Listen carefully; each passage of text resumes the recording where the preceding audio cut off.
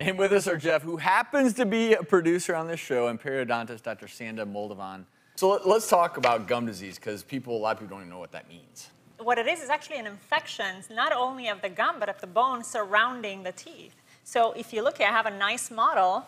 Uh, the yellow that you see right here, it's actually plaque, which is normally present in everybody's mouth. However, if it stays on the tooth too long, what will happen is it'll go down underneath the gum and it'll start to cause bone loss and potentially loosen the teeth, and then the teeth will fall out and the patient will be toothless. But what I'm really intrigued by is when, when you saw Jeff, you actually did a DNA test. Were you looking for what bacteria was growing in his mouth?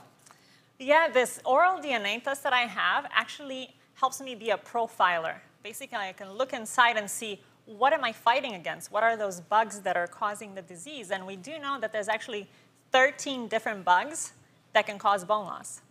So uh, I looked at those through your saliva so I could know how to fight it.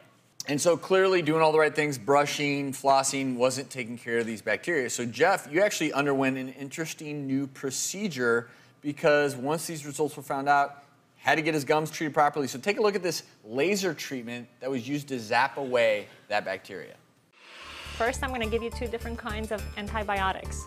And second, I'm going to do a thorough cleaning all the way around the tooth. And then I'm going to use the laser energy to kill the bacteria that lives inside the bone and inside the gum. Okay.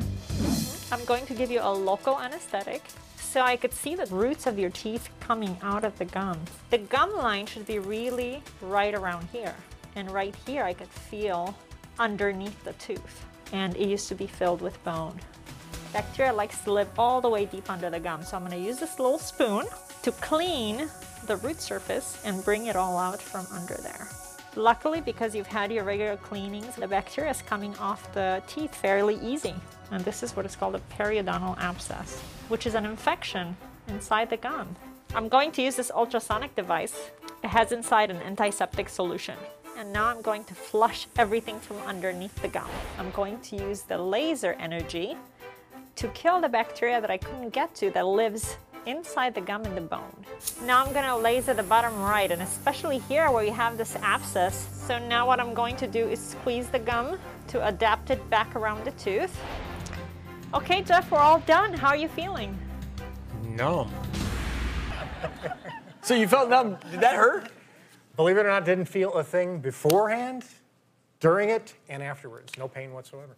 In some cases, like Jeff's, is, is this just a, a genetic thing that he's Yeah, it, it's, it also has a genetic component to it. About 30% of people, even though they brush and floss, can have gum disease to a certain extent. So if out there you see any kind of gum bleeding, don't ignore it. good takeaway? Go see your periodontist or your dentist to have it checked because it potentially could lead to increased heart attacks or strokes and uh, pulmonary problems. So this is my parents' fault. Well, thanks for coming on stage Thank you. sharing with us. Dr. Moldovan, thank you.